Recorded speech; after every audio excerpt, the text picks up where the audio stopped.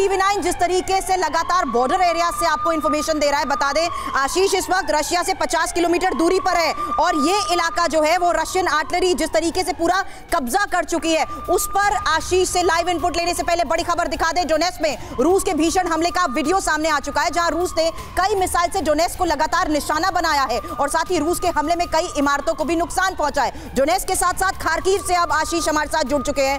खारकीव वो इलाका जहाँ पिछले नौ महीने में रशिया इंटरमीडियंट अटैक्स करता आया आशीष और सबसे महत्वपूर्ण है कि आधी से ज़्यादा पॉपुलेशन खारकीव को अगर छोड़ चुकी है, युद्ध के इस हालात में रशिया की बढ़ती रणनीति कितना बड़ा नुकसान पहुँचा रही है यूक्रेन को? बहुत ज़्यादा। और अब तक यू नो पंद्रह दिन पहले तक सुरभि जो बातें हम करते थे, मैं खुद भी वहाँ पर नोएडा स्टूडियो में, चाहे पोलैंड में जाकर बाली में और कीव में ये बातें हम करते थे क्या आप मुद्रा लोन के लिए दर्जनों बैंक जाकर थक चुके हैं? आसानी से 10 लाख मुद्रा लोन कैसे प्राप्त करें सीखना है? तो फ्रीडम ऐप को अभी डाउनलोड करें। कि किस तरह से जब विंटर्स पीक पर हो और उस समय पर ज़्यादा से ज़्यादा एनर्जी इलेक्ट्रिक इंफ्रास्ट्रक्चर पर अटैक किया जा रहा है रशिया द्वारा वो अब यहाँ महसूस हो रहा है वो इसलिए क्योंकि अभी इफ़ेक्टिव टेम्परेचर यहाँ पे फील्स लाइक माइनस सोलह डिग्री सेल्सियस है। आ, और ये बहुत ज़्यादा स्ट्रैटेजिक वेपन है व्लादिमीर पुतिन के लिए weaponising the energy weaponising the winters वाली जो बात कही जाती है ना वो एग्जैक्टली यहाँ पर आके महसूस होता है कि अभी तो शुरुआत हुई है विंटर्स की। अलग अलग दस शहरों में ये अटैक किए गए। अच्छा आशीष आप पूरा पैटर्न समझना होगा। देखिए हर आठ से दस दिन में ही क्यों अटैक किए जा रहे हैं? ज़्यादा खतरा है ये जरा हमारे दर्शकों को बताइए क्योंकि खारकीव में तो लगातार हमले हो रहे हैं और आप बिल्कुल बॉर्डर इलाके तक पहुँच गए हैं। यानी ये वो इलाका है जो कि रूस के डायरेक्ट अटैक जहाँ सिर्फ़ ना हुए बल्कि ये इलाके लगातार निशाने पर हैं। कितना खतरा है वहाँ पर?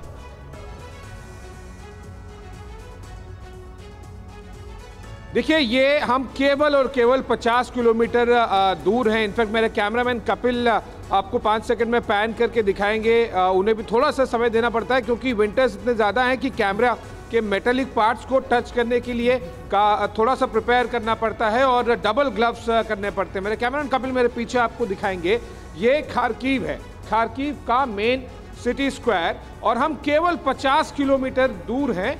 और यहाँ पर ये देखिए जो आपको एंबुलेंस का कॉन्वॉय जाता हुआ दिखाई दे रहा है ये लगातार इस तरह की इमरजेंसी सर्विसेज़ यहाँ पर डिप्लॉय की जाती हैं। जब भी ज़रूरत पड़ती है तब कल रात को भी लगभग भारत में उस समय पर सुबह के तीन बजे होंगे आ, दस साढ़े दस बजे के आसपास में यहाँ पर एक बार फिर से साइरन अलर्ट एक्सप्लोजन को लेकर मिसाइल अटैक को लेकर कर दिया गया था। यानी कि कल दिन भर में जितना अटैक हुआ उतना काफ़ी नहीं था। एक बार और फिर कहीं आसपास में मिसाइल गिरी है। हम जाके कुछ घंटों में वहाँ से रिपोर्ट भी दिखाएँगे। लेकिन 50 किलोमीटर दूर केवल रशियन बॉर्डर का मतलब है कि आप पूरी तरह से ये पूरा का पूरा शहर खारकीव बिल्कुल। आर्टलरी रेंज में है रशिया के। और जब चाहे तब मिसाइल रॉकेट की ज़रूरत नहीं है आर्टलरी से यहाँ हमले कर दे जो नौ महीने में हुए हैं। सही बात है, आशीष और मनीष, दोनों आप हमारे साथ बने रहिएगा। आगे भी आपसे जानकारी लेते रहेंगे। आशीष सिंह हमारे सहयोगी इस वक्त बहुत रिस्की इलाके में, बहुत खतरनाक इलाका। यहाँ पर कभी भी हमले हो सकते हैं। माइनस सोलह डिग्री के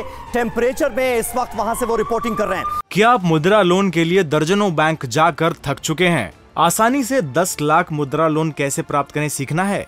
तो फ्रीडम ऐप को अभी डाउनलोड करें।